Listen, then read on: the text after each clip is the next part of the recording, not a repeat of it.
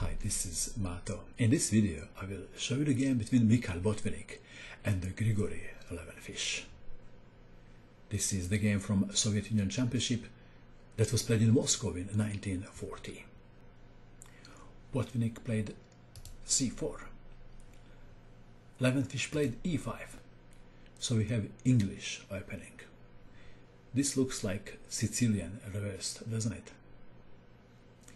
Botvinnik played knight to c3, knight to f6, knight to f3, knight to c6, d4, e takes on d4, knight takes pawn, bishop to b4, pinning the knight, bishop to g5, pinning the knight on f6, h6, bishop to h4, bishop takes knight, inflicting the damage on the pawn structure.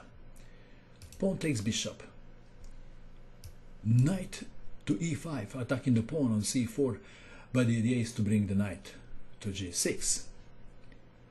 e3, defending the pawn, knight to g6, attacking the bishop, bishop to g3, and black played knight to e4, with the idea to kill the cardinal. Queen to c2, knight takes bishop, and of course Botvinnik captured towards the center placing the rook on semi-open file.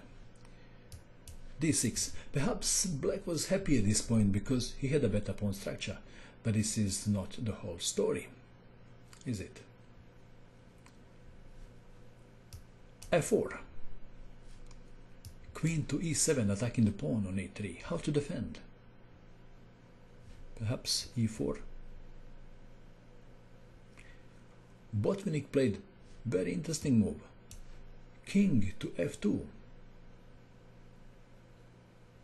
Actually, white king is very safe on f2. And Levenfish played knight to f8. Well, castling looks like a sensible option. Perhaps Levenfish didn't like this position because of rook aiming at black king.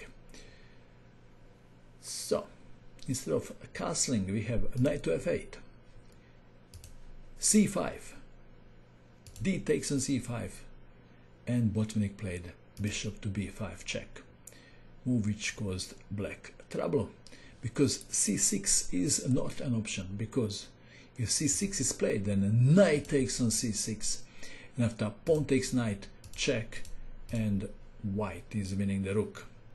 So we have knight to d7 but this allows knight to f5 attacking the queen queen to f6 rook from a to d1 and Levenfish played g6 well perhaps he could have played rook to g8 or something. Very difficult position but g6 is losing a pawn knight takes on h6 rook to f8 g4 planning g5 a6 attacking the bishop. G5 attacking the queen. Queen to e6 bishop to e2 knight to b6 knight to g4 and white is coming to f6 with check. King to e7 knight to f6 queen to c6 rook to h7 bishop to f5 attacking the queen.